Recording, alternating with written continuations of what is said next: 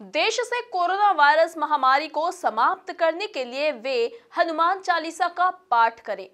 सांसद प्रज्ञा ठाकुर के इस ट्वीट पर जमकर सियासत हो रही है। एक और मंत्री विश्वास सारंग ने प्रज्ञा का बचाव किया तो वहीं दूसरी ओर कांग्रेस नेता एवं पूर्व मंत्री पीसी शर्मा ने जमकर निशाना साधा।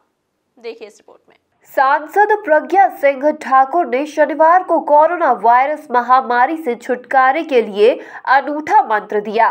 ठाकुर ने लोगों से आह्वान किया कि वे देश से कोरोना वायरस की महामारी को समाप्त करने के लिए हनुमान चालीसा का पाठ करें।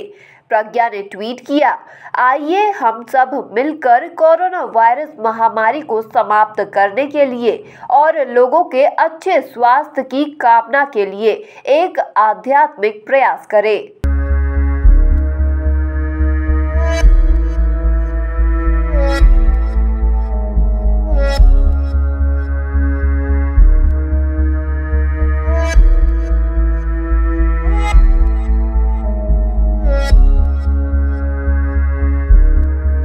वहीं अब इस मामले को लेकर बीजेपी सांसद प्रज्ञा को ट्विटर पर जमकर ट्रोल किया जा रहा है तो वहीं इस पर सियासत भी खूब हो रही है।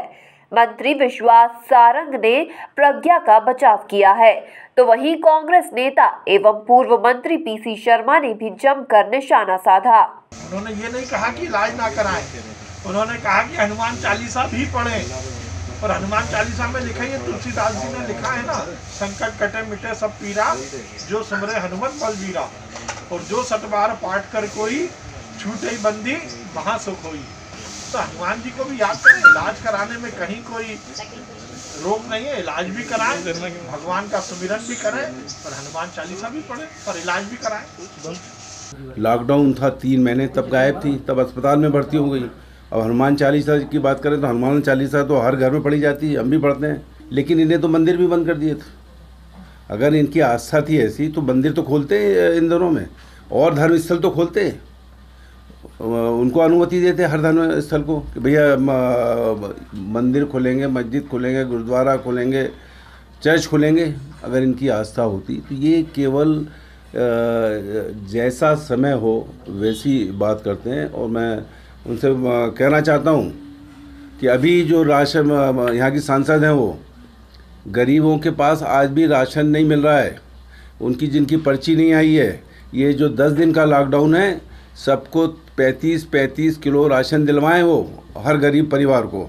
आपको बता दें कि बीते महीने भोपाल में बीजेपी सांसद साध्वी प्रज्ञा सिंह ठाकुर की तबीयत अचानक बिगड़ गई थी। बहरहाल साध्वी प्रज्ञा के इस ट्वीट पर देश भर में प्रतिक्रियाओं का दौर शुरू हो गया है। Bureau report, MP news, Bhopal.